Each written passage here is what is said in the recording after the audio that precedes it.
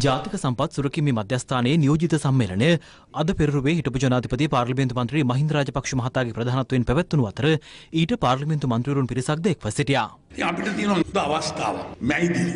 ජයග්‍රහණයක් goal face ලැබිච්ච එකම. අපේ ජයග්‍රහණයක් නෙවෙයි ඔබේ ජයග්‍රහණයක්. කරුවන්ගේ ප්‍රශ්න රාශියක් රැකියාවලින් දුට්ට දානවා. අනිත් පැත්තෙන් ගොවි ජනතාවට දීපු සාන ඔක්කොම කපලා දාලා අද හාල් වෙනකන් ඉන්න වෙලාව ලාගෙන. දැන් කතා කරන්න වෙලා තියෙන්නේ පොල් බෑයක් අරගෙන. මේ අවුරුද්දේ වෙල්ලන්න පුළුවන් නම් වෙල්ලන්න නැතුව ඉන්නේ ආණ්ඩුව.